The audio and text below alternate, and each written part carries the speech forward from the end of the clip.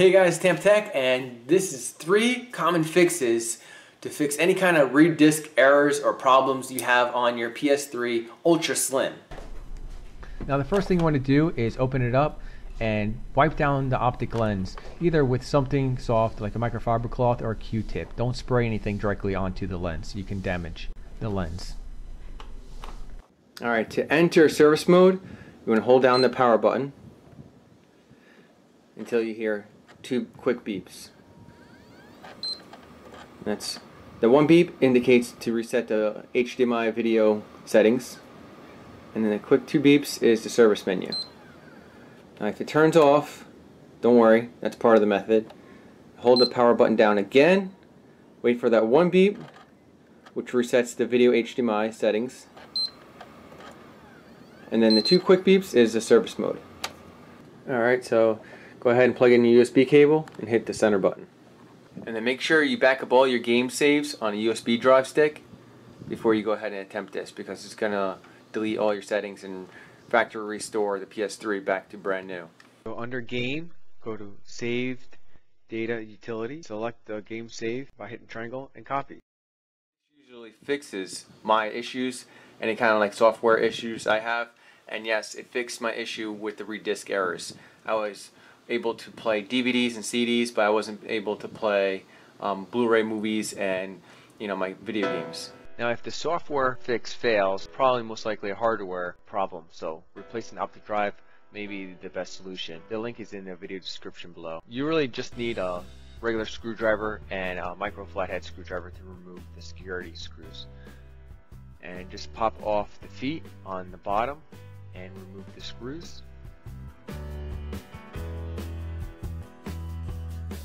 Now the security screws are a little bit trickier. You can use a Torx bit or you can use micro flathead screwdriver and just wedge it in. It, it's just as easy. Remove the hard drive.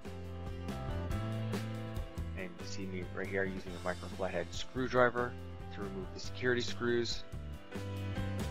Yeah, real high security PS3. Pop off the plastic panels and then unscrew those screws as well This is the regular just screws using a Phillips screwdriver.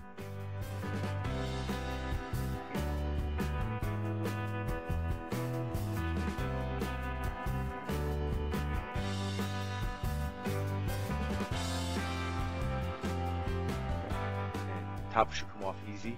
If the top doesn't come off, then most likely you missed the screw.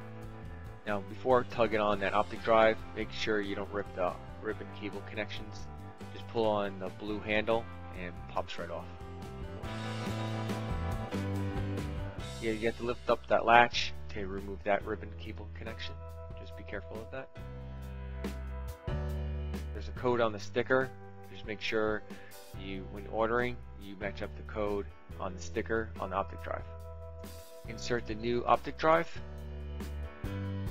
Make sure all the connections are secure or else it won't work properly.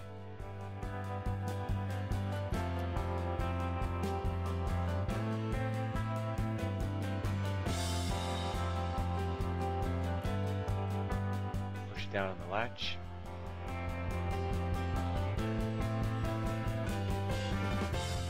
Out any dust in the fan.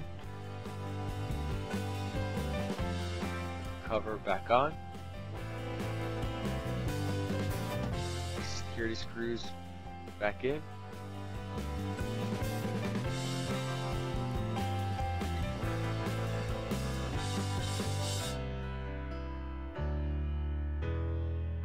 pop on the plastic covers.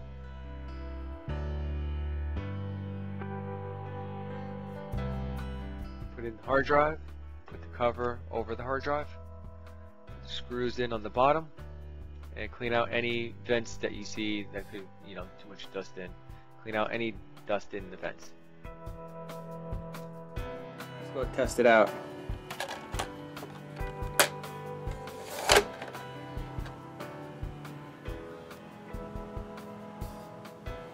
Yep, it's working. Thanks guys for watching.